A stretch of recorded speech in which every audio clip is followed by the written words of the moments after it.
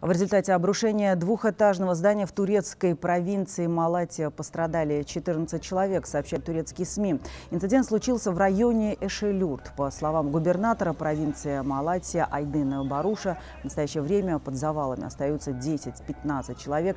Инцидент произошел минувшим днем на оживленной улице в городе Малатия в вечерний час пик, когда жители возвращались домой с работы. Причины, вызвавшие обрушение, не называются, однако несколько местных СМИ сообщили, что на первом первом этаже проводится ремонт здания, при котором могли быть повреждены несущие конструкции.